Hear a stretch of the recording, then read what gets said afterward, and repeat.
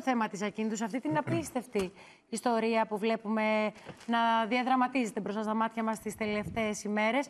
Πάμε να δούμε ένα βίντεο που ετοιμάσαμε με το πώς ξεκίνησαν όλα. Πώς αυτό το παιδάκι έφυγε από το σπίτι και πήγε στη γειτόνισσα και ουσιαστικά είπε, εκμυστηρεύτηκε για πρώτη φορά, ότι μαζί με το αδερφάκι μου μας κακοποιεί η μητέρα μου. Ποια είναι η απόφαση του δικαστηρίου, αλλά το σημαντικότερο, ποια είναι η επόμενη μέρα για αυτά τα παιδιά, που θα το συζητήσουμε αμέσως μετά. Παρακαλώ.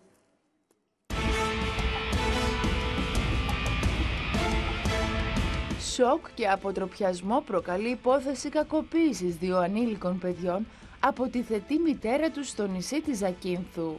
Η 49χρονη μητέρα φέρεται σύμφωνα με πληροφορίες να κακοποιούσε τα παιδιά της εδώ και τρία χρόνια, ενώ η φρίκη αποκαλύφθηκε από μια γειτόνισσα όταν το ένα από τα δύο παιδιά κατάφερε να μιλήσει και να της ζητήσει βοήθεια.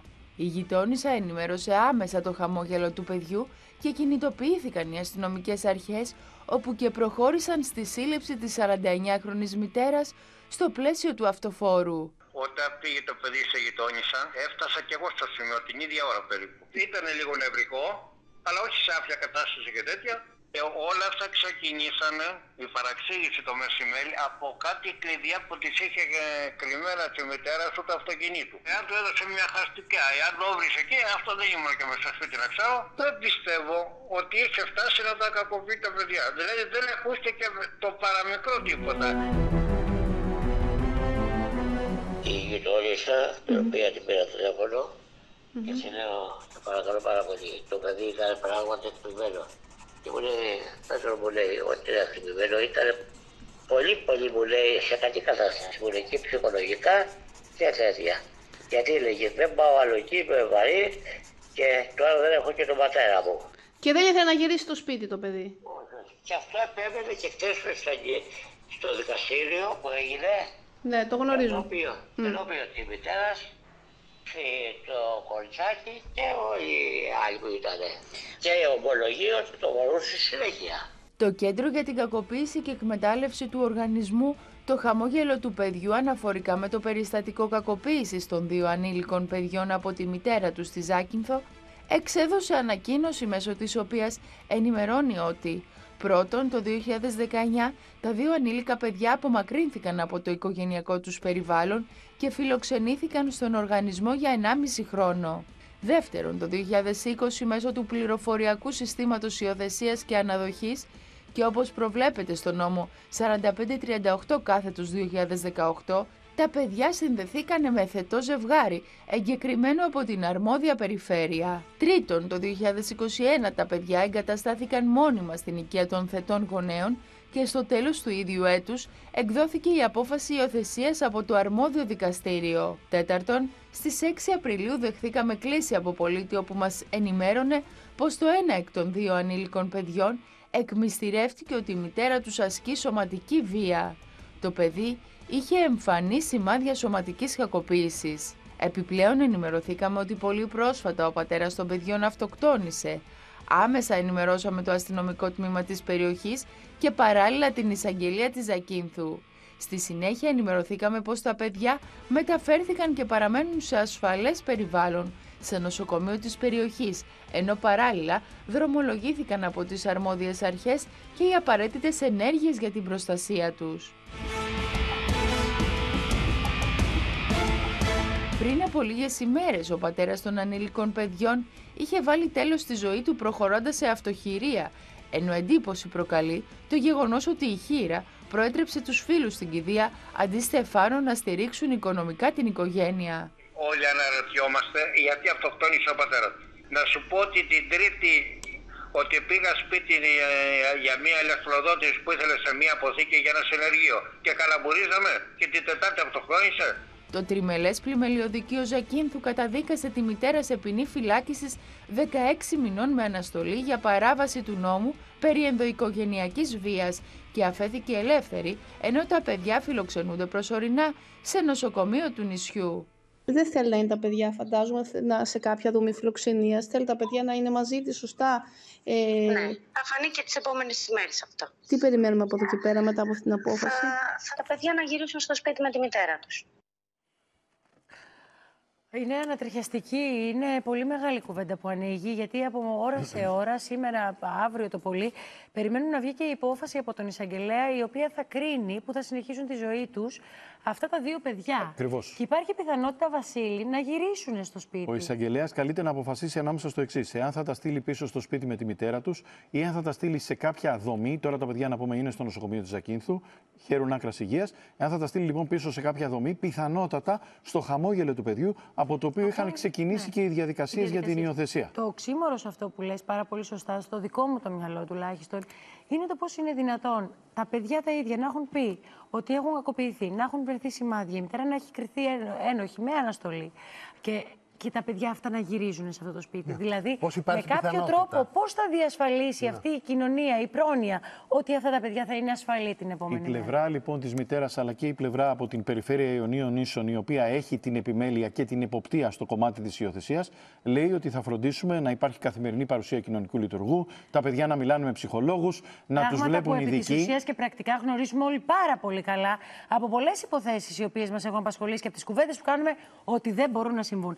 Και αν συμβούν για ένα μικρό αρχικό χρονικό διάστημα, δεν μπορούν να συνεχιστούν. Γιατί η λογική δική μου λέει: Υιοθετεί ένα ζευγάρι, δύο παιδιά.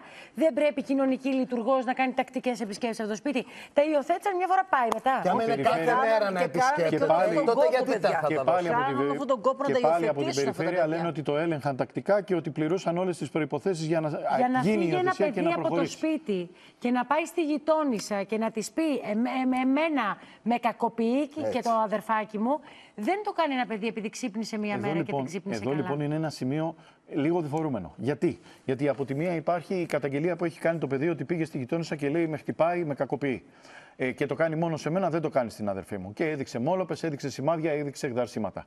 Από την άλλη, υπάρχουν αρκετές μαρτυρίες κατοίκων στην περιοχή, αλλά και από τοπικά μέσα ενημέρωσης που γνώριζαν τη γυναίκα, που μιλάνε για μια γυναίκα η οποία μετά την αυτοκτονία του άντρα της περιήλθε σε πολύ δυσμενή κατάσταση, υπήρχε ένταση στο σπίτι και είναι πιθανό να ξέφυγαν λίγο τα πράγματα πάνω στην ένταση της στιγμής, διότι υπάρχει η θλίψη και η οργή για την ευνίδια απώλεια. Και ότι μέχρι τώρα δεν είχε δώσει δικαιώματα. Μια γυναίκα η οποία εργάζεται, την περιγράφουν ως δουλευταρού και λένε Ε, μου ότι θυμίζεις τώρα, ενδεχομένω. δεν θέλω να πω τώρα, δεν θέλω να συνδέσω και να συγκρίνω. ενδεχομένως να μεγαλοποιήθηκε ένα συμβάν αυτό που έχει να κάνει που είπαμε με τα κλειδιά. Ότι ζήτησε από ένα έκρυψε παιδί. τα Ακριβώς. κλειδάκια και τα Ακριβώς. λοιπά και αυτό. Πάμε να δούμε τι είπε, τι δήλωσε η γυναίκα αυτή σε συνέντευξή της εχθές στο Μέγκα μετά την αποφυλάκησή της. Όχι, δεν το μάλωσα. Με το καλό.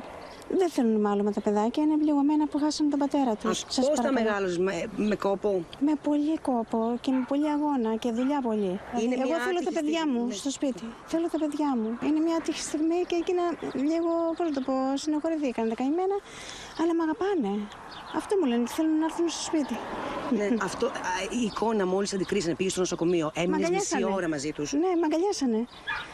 Και κάθισα εκεί πέρα.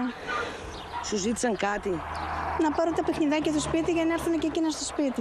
Η απόφαση του εισαγγελέα έχει βγει και πρέπει να πάρω τα παιδιά μου. Και το δικό σου παιδάκι καμιά φορά μπορείς να το μαλώσεις, ακόμα και που έχεις γεννήσει. Δεν τον, δεν τον χτύπαγα εγώ. Ποτέ, αλήθεια, ειλικρινά. Το αγαπάω, το θέλω παιδ- το παιδάκι μου, τα θέλω τα παιδάκια μου.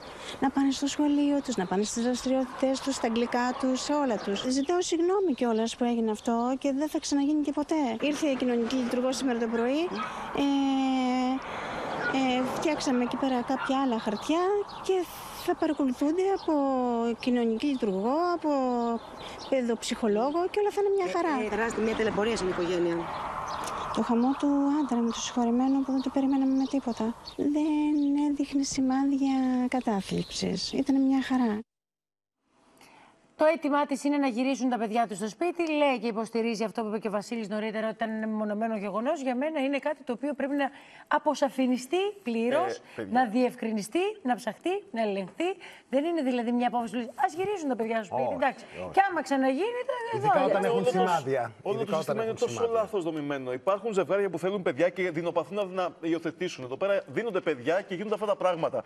Δεν ξέρω τι, τι το θέμα είναι ότι αν είναι μόνο δύο-τρία χρόνια. αυτοκτονεί, παιδιά. Ο πατέρας ένα αυτοκτονεί. Η μάνα λέει το παιδί ότι το κοκοπεί. Ένα ζευγάρι το οποίο. Ζητάει χρήματα στην κοιτία του Ζητάει πατέρα, στην κοιτία πράγμα του που πατέρα. σημαίνει ότι έχει περιέλθει σε μια Ακριβώς, δύσκολη ακριβώς. οικονομική Έχουν- κατάσταση. Τα παιδιά τα έχουν υιοθετήσει πρόσφατα, δεν είναι και πάρα πολλά χρόνια. Ναι. τα έχουν Χρόνια υιοθετήσει. δεν είναι πολλά χρόνια, όχι. Ακριβώς. Άρα, όταν πάνε να κάνεις αυτή τη θεάρεστη πράξη να υιοθετήσεις παιδάκια και να τα φέρεις στο σπίτι σου και κοντά να τους παρέχεις αυτή τη, τη θαλπορή της οικογένειας, δεν μπορούν τα παιδιά να ζουν μία αυτοκτονία και μία και Και ξυλοδαρμό. κυρίως όταν Γιατί τα έχεις εκεί μόνο δι- δύο-τρία χρόνια. Όταν Και τα έχεις για μόνο την δύο-τρία ψυχική τους χρόνια. κατάσταση, αυτό που λέει είναι, Ακριβώς, είναι πολύ ακριβώς. σημαντικό.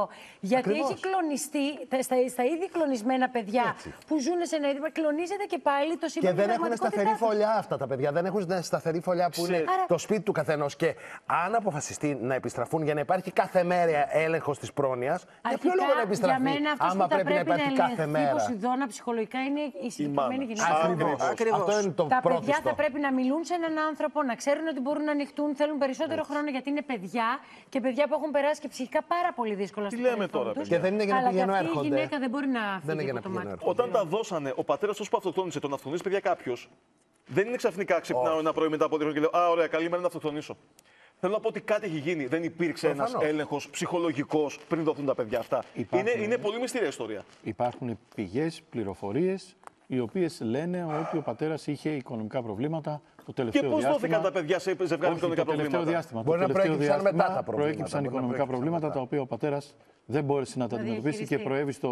Ναι. Ναι, αλλά αυτό που Άρα είναι τα παιδιά αυτά Δημήτρης, δεν δεν έχουν είναι τόσο ασφάλεια. απλό. Τι λέμε τώρα; Γιατί δείχνει έναν ανίσχυρο ψυχολογικά άνθρωπο να ανταπεξέλθει σε κάτι που τη συμβαίνει στη ζωή.